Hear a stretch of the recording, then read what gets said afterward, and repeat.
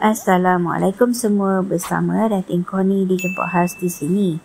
Welcome to Kokoci TV. Hari ini Datin Koni nak gosip-gosip sikit pasal Peguam Diana Daniel dedah Farid Kamil sudah keluar rumah. Ini ceritanya.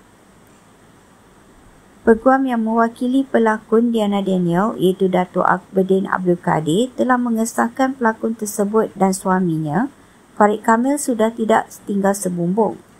Peguamnya berkata Farid sudah keluar dari rumah yang didiami bersama Diana dan dua orang cahaya mata mereka.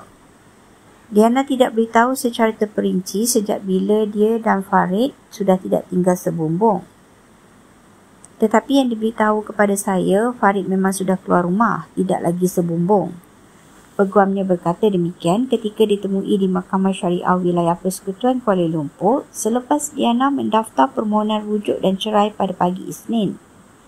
Terdahulu, Diana Daniel telah meminta agar Farid Kamil segera berpindah dari rumah mereka. Diana memaklumkan perkara ini menerusi akaun Instagramnya dan berkata notis itu sudah diberikan menerusi aplikasi WhatsApp kepada suaminya. Ha, kejap-kejap. Nak lihat apa seterusnya? Subscribe dulu, okey?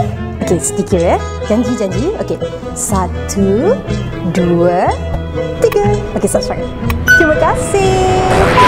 Dengan sumpahan mulut aku.